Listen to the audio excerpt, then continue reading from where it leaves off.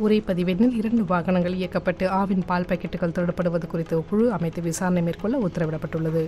தினந்தோறும் நூதன முறையில் வேன் மூலம் பல ஆயிரம் லிட்டர் பால் திருடப்பட்டு வந்த சம்பவம் இதன் மூலம் வெளிச்சத்துக்கு வரலாம் என்று எதிர்பார்க்கப்படுகிறது. வேலூர் சத்துவாச்சாரியில் ஆவின் பால் பண்ணை செயல்பட்டு வருகிறது.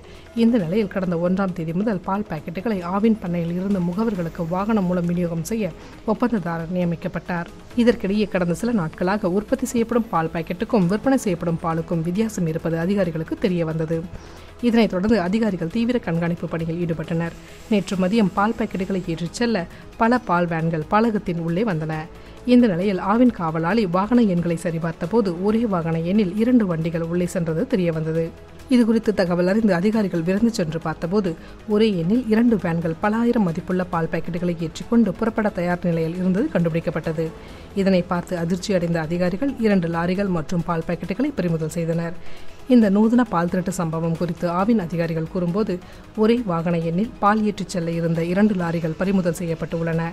இது குறித்து வட்டார போக்குவரத்து அதிகாரியிடம் புகார் செய்துள்ளோம். இரண்டு லாரி உரிமையாளரிடமும் உள்ள வாகனத்தின் ஆவணங்களை எடுத்து வர சொல்லியிருக்கிறோம்.